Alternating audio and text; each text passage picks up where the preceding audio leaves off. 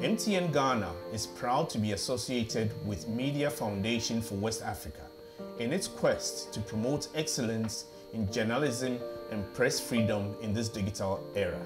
As we observe the third edition of WAMECA, MTN would like to congratulate the Media Foundation for West Africa for the great work done so far. As a partner of these awards since its inception, we are pleased to see the efforts the Foundation is making to discuss issues that are pertinent to the development of media in West Africa. May the West African Media Excellence Conference and Awards event serve as an inspiration to all journalists across the region.